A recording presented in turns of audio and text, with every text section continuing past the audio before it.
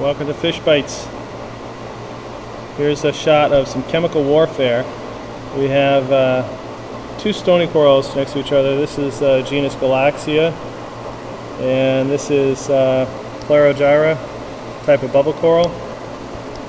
And they're sitting close enough to each other that this Galaxea has uh, sensed the presence of the bubble coral and has started farming or growing lots of uh, what are called sweeper tentacles, where they grow a high density of stinging cells, otherwise known as nematocysts, on the end of their tentacles, and then they wave around in the breeze like uh, a ball and chain, like a mace, like a gladiator would.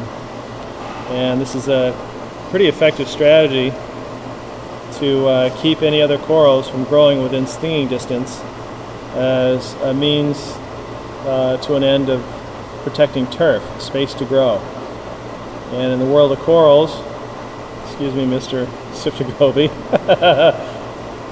ready for your uh, close-up. In the world of corals, it's and cnidarians, it's generally a, a hierarchy of stinging power.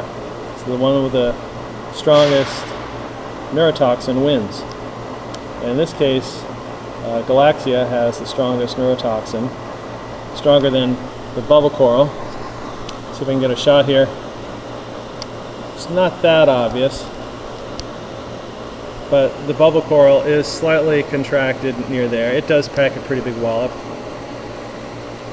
Uh, usually, the Galaxea would fry another coral like that, and luckily, the bubble coral is uh, packs a pretty big wallop. But I would say generally the Galaxea is going to win this war.